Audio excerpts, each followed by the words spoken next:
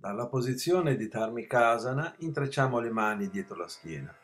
Esalando solleviamo le braccia e le spingiamo in avanti, sgonfiando bene gli apici dei polmoni.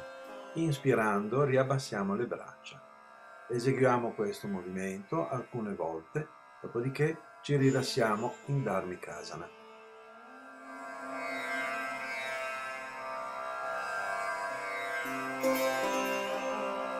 thank